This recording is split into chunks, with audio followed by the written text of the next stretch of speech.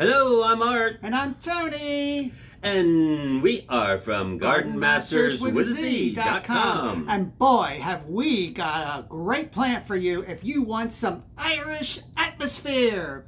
The luck of the Irish. Irish. Oh, you uh, you can do that Irish accent. I can't. You have the luck of the Irish. Oh, very, very good. Art. anyway, it's called the shamrock, and here it is right here in front of us. The leaves it's kind not- of resemble I shamrocks. thought, look, I thought that was a four-leaf clover. well, it resembles no, clover. This is like this is clover, Yeah, but this is oxalis. oxalis, the Latin name.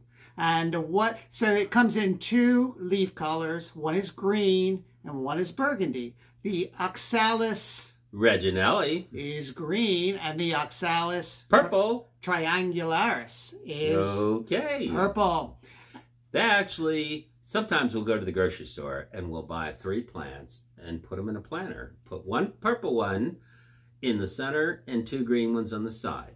Yep, and uh, we do have a planter exactly like that. But um, we want to give you some information on this plant because every plant you're seeing in this video is many years old. They have survived for many years. Now, they don't look the same as they did in the grocery store. In the grocery store, they're kind of more compact.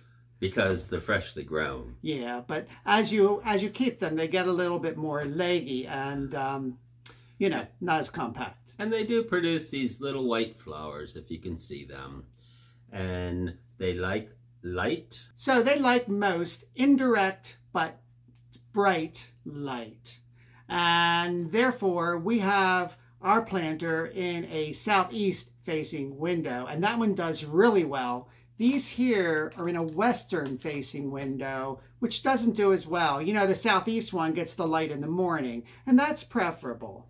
So they like to be watered once or twice. I mean, once a week or once every other week.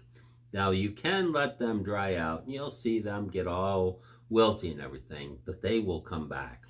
And if you happen to lose all your leaves, pull them off and magic, they'll all come back again. And the leaves, it's interesting thing about this plant, the leaves will oftentimes close up during the nighttime and then open back up once the light hits them Excuse again. me? It's not once in a while. They always close up at night. Did I say once in a while? Yeah. so at night, they'll create this pyramid. And that's interesting, especially if you have kids, because they'll say, Mommy, the shamrock went to bed. Night. You could do that with your kids, couldn't you? Make it a game. So the, sham, the shamrock plant, oxalis, is a perennial. It's classified as a perennial, but most people grow them as house plants, such as us. But they will be hardy down to zones seven or eight. But we've never tried them outside. We've always just used them as house plants, and that's what we do.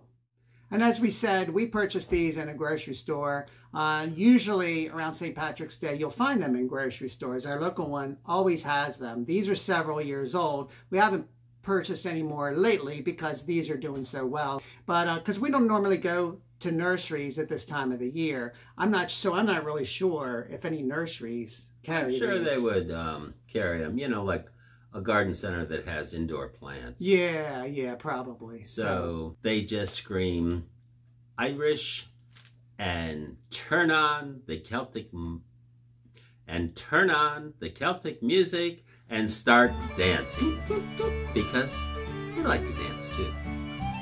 So if you have the luck of the Irish, or if you want the luck of the Irish, bring these into your house.